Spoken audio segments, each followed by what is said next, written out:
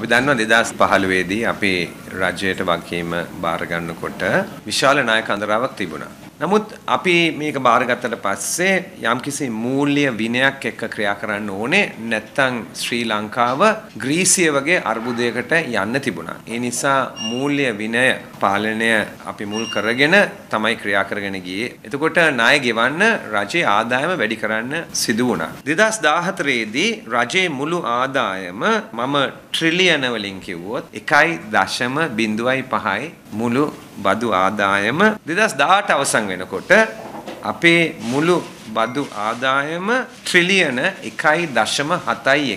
තව විදිහකට කිව්වොත් බිලියන 700කින් වැඩි වෙලා තියෙනවා. නැත්නම් ප්‍රතිශතයක් හැටියට ගත්තොත් 65කට වැඩිය වැඩි වෙලා තියෙනවා.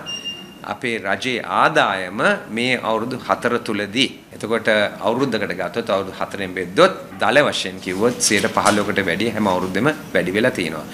ඍජු බදු අපේ රටේ 120යි වක්‍ර බදු 180ක් විතර වෙනවා. සමාජ සාධාරණ ඇති වෙන්න ඍජු බදු ඉහළ යන්න ඕනේ ඒ වක්‍ර බදු පහළට එන්න ඕනේ. නැත්තම් කඩේට ගිහාම පොලට ගිහාම ලක්ෂ දෙක මාසයකට හම්බ කරන පුද්ගලයාත් රුපියල් 20000 හම්බ කරන පුද්ගලයාත් පොලේ කඩේ තියෙන බඩු මිල එකමයි. එතකොට අඩුවෙන් ආදායම් ලබන එක්කෙනාට ඒක අසාධාරණයක්.